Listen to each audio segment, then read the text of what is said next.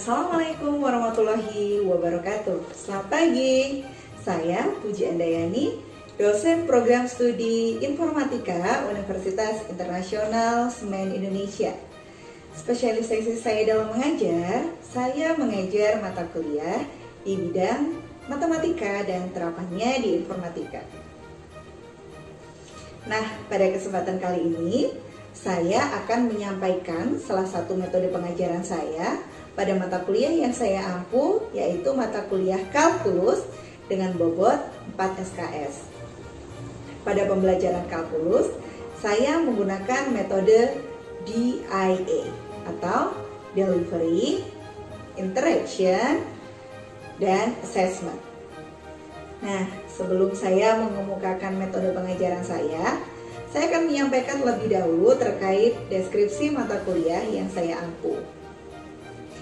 Kalkulus merupakan mata kuliah yang mencakup beberapa pokok bahasan yaitu fungsi, limit, kekontinuan, diferensiasi, dan integrasi yang merupakan dasar perhitungan matematis pada setiap permasalahan, sains, dan teknik. Mata kuliah ini mempelajari konsep-konsep dasar matematik, juga mempelajari teknik menyelesaikan dasar permasalahan matematika seperti diferensiasi dan integrasi. Kegiatan pembelajaran terdiri atas perkuliahan yang membahas teori-teori matematika dan pemberian latihan soal serta tugas terkait mata kuliah tersebut terkait topik yang dibahas pada mata kuliah tersebut yang dikerjakan mahasiswa secara mandiri maupun secara berkelompok.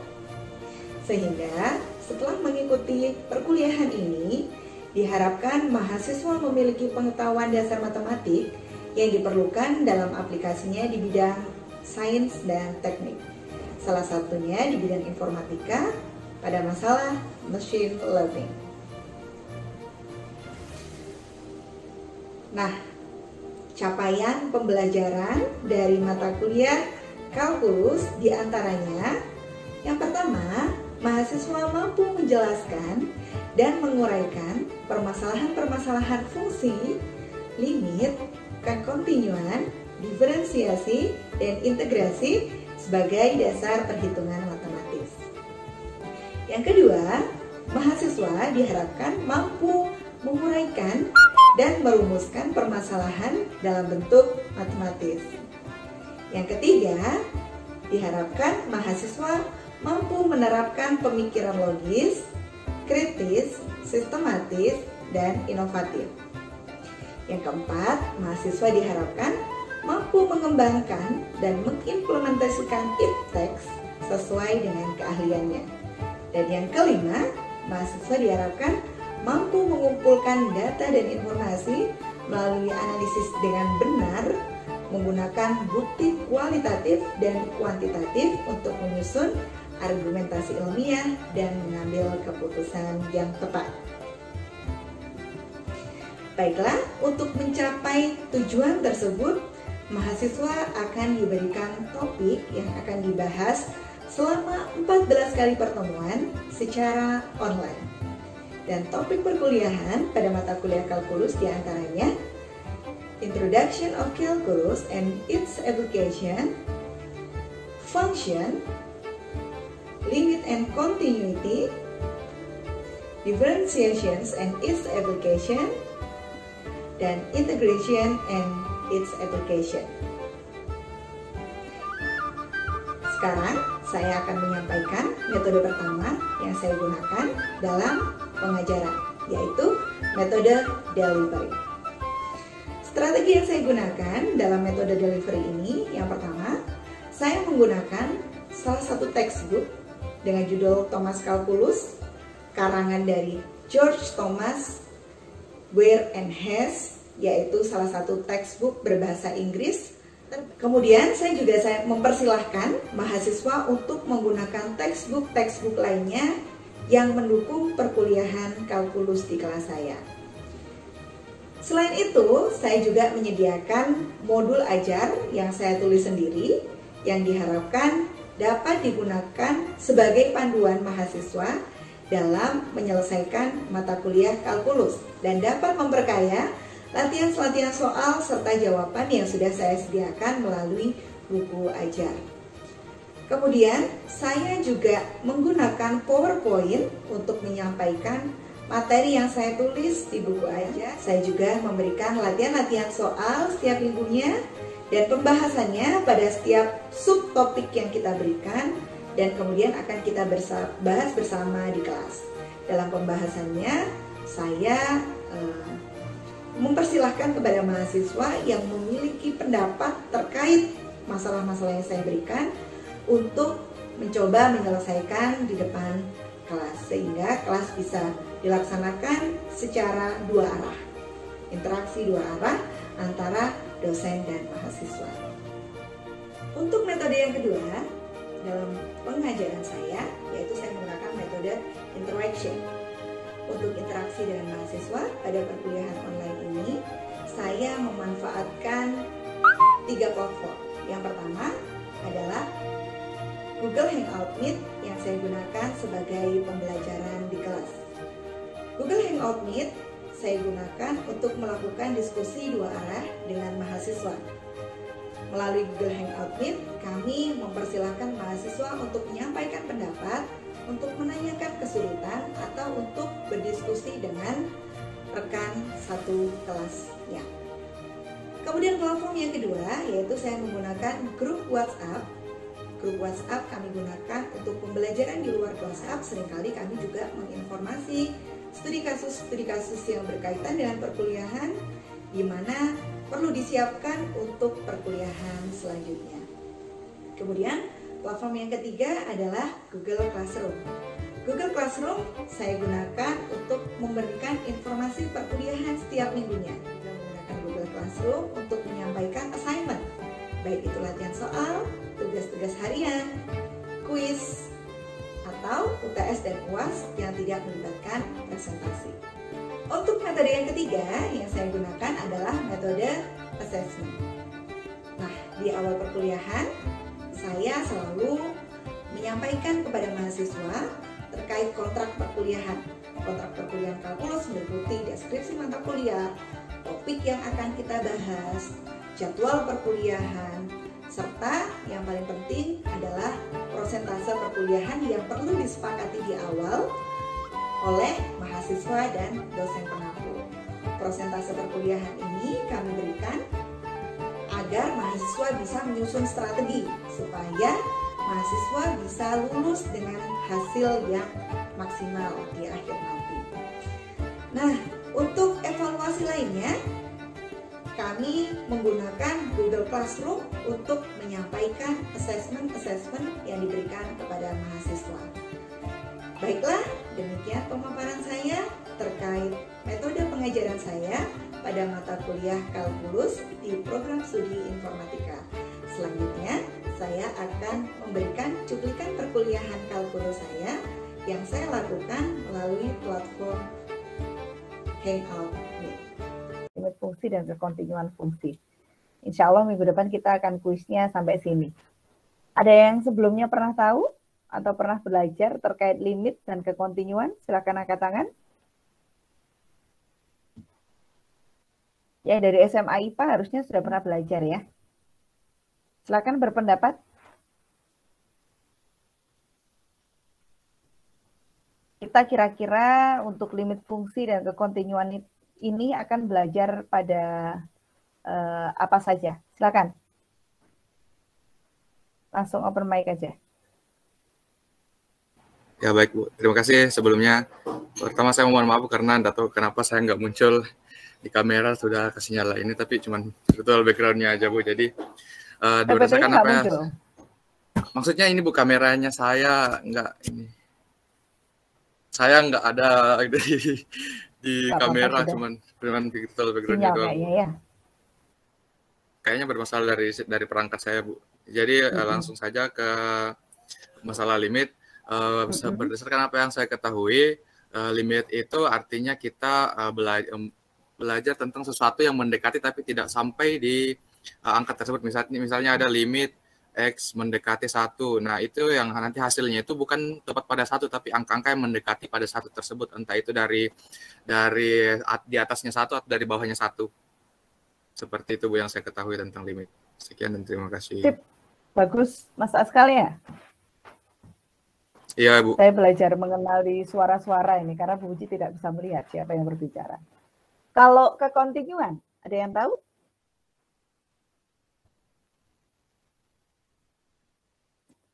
Silakan, kekontinuan. Maksud dari continue itu apa? Kita kan belajar matematika diskrit juga ya, kalau nggak salah semester ini ya, dengan Butini. Kita kan tahu diskrit. Terus kalau continue itu apa? Silakan.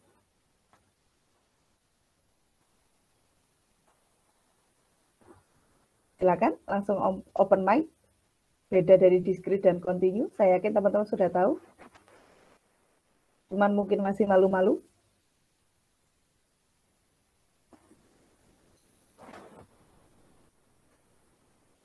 Continue silakan. Apa sih maksud dari continue itu? Hubungan kita itu dikontinuin apa enggak gitu ya?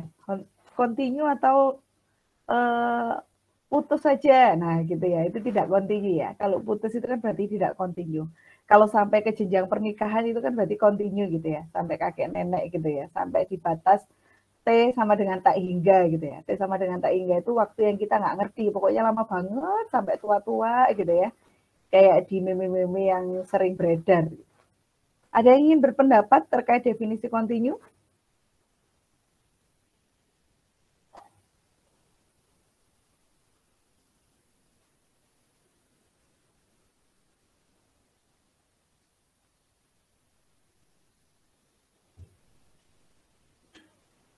Loh, kita itu di oh ya, oke. Okay.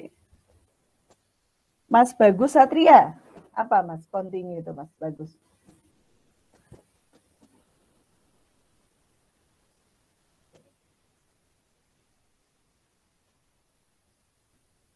Ada nggak Mas Bagus?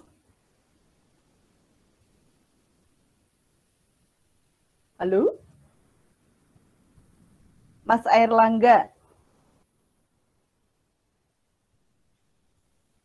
Eh, suara Bu Puji terdengar nggak sih? Kok nggak ada respon? Terdengar, Bu. Oh, oke. Okay. Mas Erlangga, continue itu apa Mas Erlangga?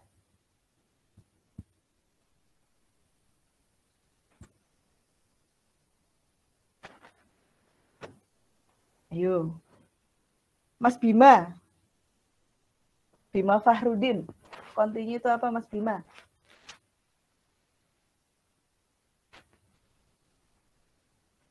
Sudah Bu Puji kasih clue tadi ya. Aku dan kamu apa berlanjut sampai kakek nenek gitu ya. Continue itu berarti yang terus menerus. Kalau kita bernafas itu continue. Karena kalau kita berhenti bernafas 10 detik aja, itu udah bingung gitu ya. Wes mungkin udah bablas gitu ya. Berhenti bernafas. Nah, kalau kita makan, makan itu diskrit karena ada jedahnya. Tidak setiap detik itu kita makan. Tapi makan itu kita satu hari tiga kali. Berarti kan ada jeda waktunya. Itu namanya diskrit. Kalau continue itu sesuatu yang berlangsung terus-menerus sesuai dengan uh, parameternya. Kalau kita berbicara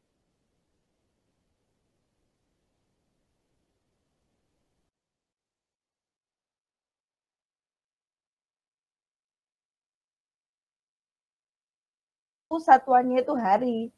Berarti yang setiap hari itu dilakukan. Seperti itu. Ya, ini ada yang masuk atau ada punya saya yang keluar ya? Halo Mas Askal, saya masih ada ya di sini ya? Ya Bu, masih ada Bu. Tadi sempat ke uh, ini Bu, mungkin jaringan Oke. tadi agak jelek. Oke. Nah, nanti khawatir seperti sebelumnya.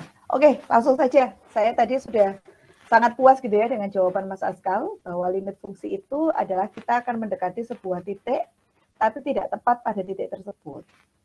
Nah, langsung saja kita ke perhitungannya. Ya, pertama kita akan belajar terlebih dahulu terkait limit fungsi di satu titik. Misalkan satu titik itu apa Bu? Berarti kita variabel eh, bebasnya itu satu macam gitu ya. Terus kita pilih titik tersebut mana yang sekiranya akan kita dekati. Contoh, saya akan ambil fungsi fx sama dengan x kuadrat min 1 per x min 1. Ya, ini namanya fungsi rasional ya. Yang fungsi perperan namanya fungsi rasional. Kita sambil belajar uh, jenis fungsi. Fungsi rasional syaratnya apa? Mas Digeo? Penyebut. Syarat penyebut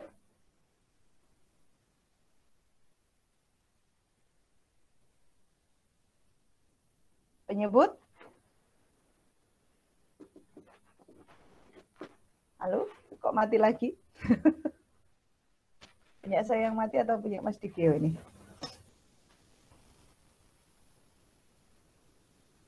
Penyebut?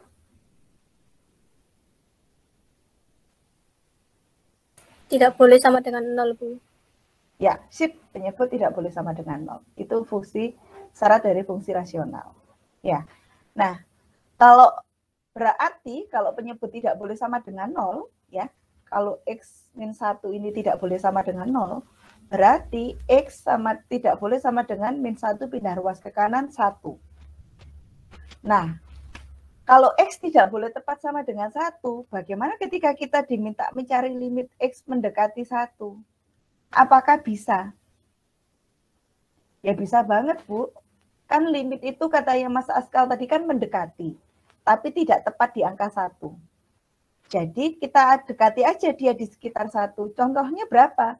Ya sekitar satu itu kan 0,999. 0,999. Semakin mundur, semakin mundur komanya. Atau kita ambil dari arah yang kanan. Mendekati satu itu berarti satu lebih 00001 atau satu lebih 001 dan seterusnya. Ya. Nah, ketika kita pilih eh, nilai-nilai variabel bebas ini, kita coba deh ambil kalkulator. Coba Anda masukkan nilai ini ke dalam rumus ini. Jadi dia akan mewakili X 0,9-nya 4 kali dikuadratkan dikurang 1 dibagi 0,94 kali dikurangkan 1. Hasilnya berapa? Eh setelah kita coba hitung, ternyata hasilnya itu 1,999. Dan ini coba saya hitung juga pakai kalkulator. Hasilnya ternyata ini. Ini saya coba hitung pakai kalkulator hasilnya sama dengan ini. Nah, sekarang yang sebelah kanan, saya coba deh hitung. Ketika saya hitung ini menggunakan kalkulator, ternyata hasilnya ini. Ketika saya hitung ini, hasilnya ini. Ketika saya hitung ini, hasilnya ini. Ketika saya hitung ini, hasilnya ini. Apa yang saudara lihat? Ternyata loh, ketika saya ambil nilai nilai X yang lebih dekat dengan satu, hasilnya itu Alhamdulillah. Hasilnya itu loh akan lebih dekat juga dengan dua. Duanya ini tahu nggak kita? Sebelum kita melakukan perhitungan limit, kita tidak akan tahu nilai dua ini. Cuman ketika kita lihat oh ternyata 2,001 dan 1,999 oh ya berarti dia itu dekat dengan dua seperti halnya dengan satu. Yang kita ambil nilai yang dekat dengan satu ternyata hasilnya dekat dengan dua. Artinya apa? Berarti ketika kita ambil nilai X, kita pilih X yang dekat dengan satu, nilai Fx ini loh, nilai fungsi rasional ini loh, hasilnya akan dekat dengan dua. Secara simbolis, secara matematis, bentuk fenomena ini dapat kita tuliskan sebagai berikut. Limit X mendekati 1 dari X kuadrat min 1 per X min 1 sama dengan 2. Loh Bu, katanya Bu Puji tadi dekat dengan 2. Kok ditulis 2? Iya, ini kan artinya bacanya itu ketika kita pilih nilai X itu dekat dengan satu, hasil dari ini dekat dengan dua. Begitu cara membacanya. Sehingga bentuk ini dituliskan dalam sebuah definisi yang digambarkan sebagai berikut. Secara grafis ya, kita bisa tuliskan Misalkan kita pilih nilai X tadi ya, dekat dengan satu, entah itu dekat dari kiri atau itu dekat dari kanan, ternyata solusinya itu dekat dengan dua. Nah, secara matematis kita tuliskan dalam definisi sebagai berikut. Ya. Ya, dibaca limit dari x kuadrat min 1 per x min 1 untuk x mendekati 1 adalah 2.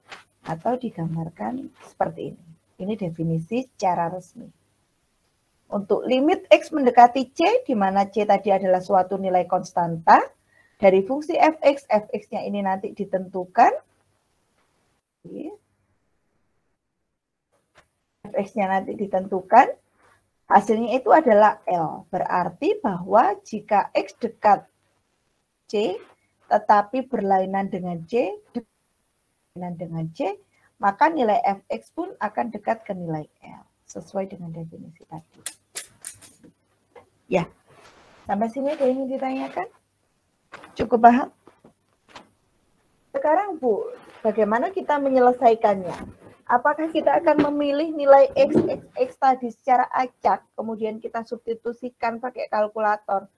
Kalau demikian, maka akan sangat membuang banyak waktu gitu ya, akan memasukkan nilai-nilai dengan kalkulator. Oleh karena itu, kita akan belajar tentang metode menyelesaikan limit tanpa menggunakan kalkulator. Apa saja metodenya? Nah, metode yang pertama itu adalah dengan cara substitusi.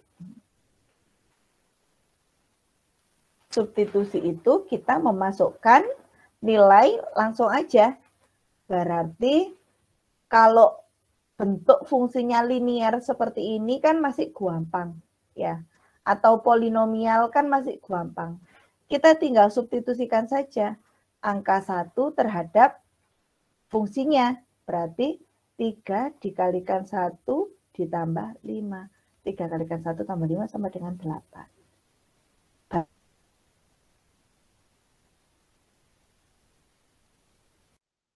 Itu adalah angka 8. Fungsi ini dekat dengan 8. Begitu bunyinya.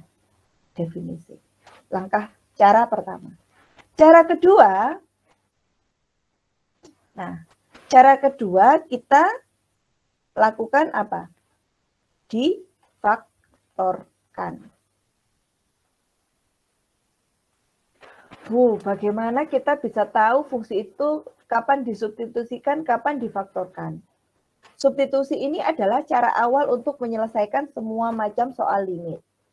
Namun ketika dalam substitusi ini kita temukan hasil 0 per 0, tak hingga per tak hingga, tak hingga min tak hingga, maka kita akan ganti metode yang selanjutnya urutan kedua atau urutan ketiga dan seterusnya. Ya. Coba, contohnya seperti apa? Contohnya seperti ini. Langkah pertama kita akan coba substitusikan e, nilai 2 pada fungsi berikut. 2 dikalikan 2 kuadrat. 8. Ya. Dikurang 2 dikalikan 3.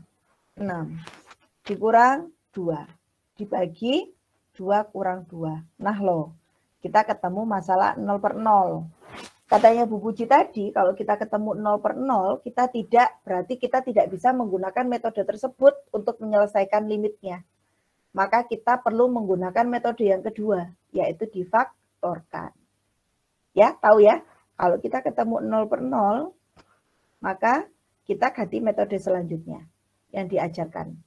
Ya, Oke, kita coba metode yang kedua, yaitu difaktorkan. Maka kita akan memfaktorkan bentuk kuadrat 2x kuadrat min 3x min 2 menjadi bentuk seperti ini. Nah, apa yang terjadi? Wah, kita melihat bahwa dari pembilang dan penyebut ada yang sama, sehingga bisa kita coret. Sehingga nilai limitnya sama dengan nilai limit dari 2x plus 1. Kalau sudah demikian, berarti tinggal kita substitusikan. 2 dikalikan 2 plus 1. Hasilnya adalah 5. Ketemu nilai. Bu, kalau saya tidak bisa substitusi, kalau saya tidak bisa pemfaktoran, ada cara lagi nggak? Cara yang ketiga adalah dikalikan sekawan. Biasanya kalau masalah seperti ini ini dipakai ketika kita menemukan bentuk akar. Ya. Bu, coba sih saya nggak percaya. Saya coba substitusikan deh Bu, 9 boleh. 9 kurang 9, 0. Ya. Dibagi akar 9 kan 3 ya. 3 kurang 3, 0. Oh iya, ternyata soal nomor 3 ini tidak bisa diselesaikan dengan cara substitusi. Makanya kita harus melakukan hal yang lain. Diapakan? Difaktorkan. Uh, difaktorkan bisa sebenarnya ya bentuk ini. Mungkin nanti teman-teman agak bingung kalau difaktorkan. Tapi ini bisa. X min 9 ini sama aja bentuknya seperti X kuadrat min A jika dibandingkan dengan yang bawah. Coba ya, Bu Puji coba kalau pakai cara difaktorkan. Berarti X min 9 itu sama dengan akar X min 3 gitu ya. Akar X plus 3. Dibagi akar X min 3. Ini. X mendekati 9. Wih, mana yang sama? Ini. Maka ini kita coret. Sama dengan limit X mendekati 9 dari akar X plus 3. Akar X, akar 9, 3 tambah 3 hasilnya adalah 5. Namun, sering kali mahasiswa itu nggak kepikiran kalau ternyata dia itu bisa difaktorkan kalau dibandingkan bawahnya. Gitu ya. Bukan nggak ada kuadratnya, Bu. Kok Ibu bisa kepikiran eh, difaktorkan? Nah, karena itu Bu Buci sudah terbiasa. Biasanya teman-teman mahasiswa tidak terbiasa, sehingga ada cara lain. Kalau teman-teman tidak bisa memfaktorkan, yaitu dengan cara dikalikan sekawan. Sekawan itu kayak apa, Bu? Ya, kita lihat sekawan dari penyebutnya, bukan dari pembilangnya.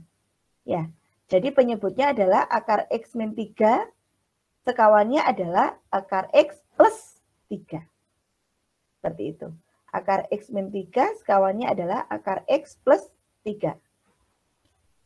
Oke? Berarti kita kalikan dengan sekawan dibagi sekawan. Kenapa sekawan dibagi sekawan? Karena kita harus mengalihkan dan tidak merubah fungsinya. Ya. Jadi mengalihkan dengan kalau dibaginya sama berarti kan dikalikan dengan satu. Fungsi berapapun kalau dikalikan dengan satu kan fungsi semula. Makanya kita bisa gunakannya demikian. Lalu kemudian bagaimana Bu? Ya kita kalikan seperti biasa. Ya. Limit.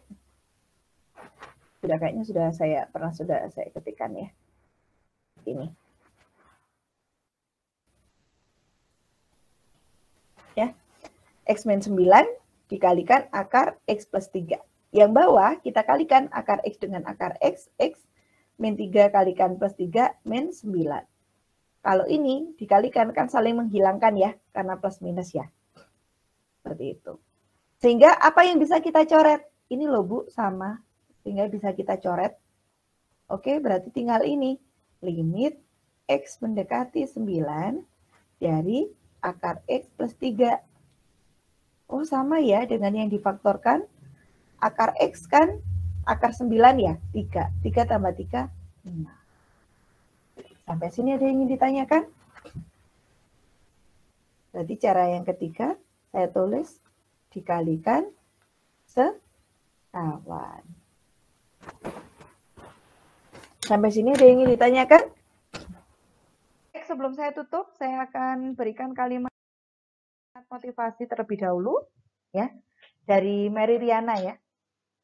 Kalau kamu merasa kondisi hidupmu itu tidak nyaman, mungkin itu artinya kamu sedang bertumbuh. Ya. Mungkin kita pernah merasakan yang namanya tumbuh gigi gitu ya. Kita akan merasa tidak nyaman. Mungkin kita akan merasakan tumbuh-tumbuh yang lain, mungkin kita merasa akan tidak nyaman. Tapi sadarlah bahwa ketidaknyamananmu ini akan menyebabkan kamu akan lebih tinggi dari sebelumnya. Kurang lebih seperti itu. Baik, terima kasih saudara sekalian. Eh, selamat belajar dan selamat mengerjakan latihannya. Sampai